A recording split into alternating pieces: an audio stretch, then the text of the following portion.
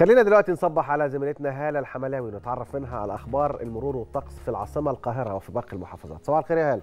صباح الفل يا مصطفى صباح الفل يا جمانة وصباح الفل على كل اللي بيشوفونا النهارده الصبح. صباح الخير يا هالة. صباح الفل.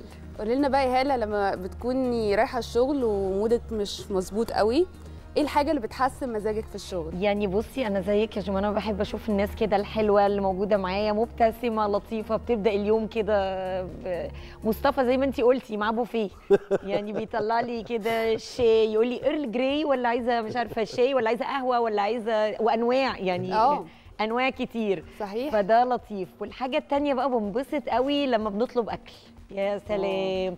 بصي أنا مش بحب الأكل ك... كأكل بس بحب. آكل. مع آه مع ناس. فنطلب فطار نقعد مع بعض. بالذات، صحيح. آه فده بيخلي اليوم كده لطيف وبيخليه يعدي حتى بسرعة يعني. صحيح.